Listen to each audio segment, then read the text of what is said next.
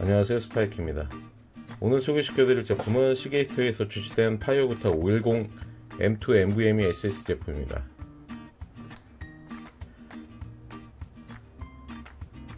지금 스펙에도 나와있지만 PCI Gen3 4배속 제품이고요. 대용량인 2테라 제품이라서 읽기와 쓰기 속도가 3450입니다. 어, 지금 성능에 대해서는 시스템에 조립한 후에 디스크 크리스탈 디스크 마크 벤치 프로그램 같은 속도 프로그램을 이용해서 뒤에 나온 결과표를 표시해 드리도록 하겠고요. 현재는 간단하게 메인보드에 M2 NVMe SSD를 장착하는 법을 간단히 설명드리려고 합니다.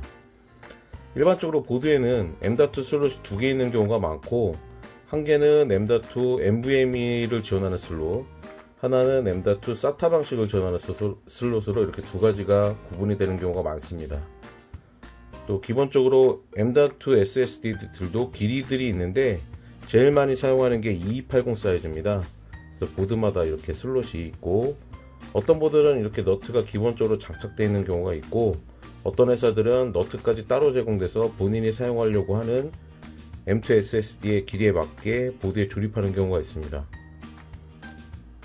지금 제가 조립해 보려고 하는 시게이트 파이어쿠다 510 제품은 M2 NVMe SSD이기 때문에 장착하는 부분에 홈이 하나가 있고 메인보드에서 M2 SSD, M2 NVMe SSD를 지원하는 슬롯을 확인한 후에 모양에 맞게 꼽아주면 뒷부분이 이렇게 올라옵니다. 그때는 메인보드에서 제공하는 나사를 드라이버를 이용해서 조립을 해주시면 됩니다.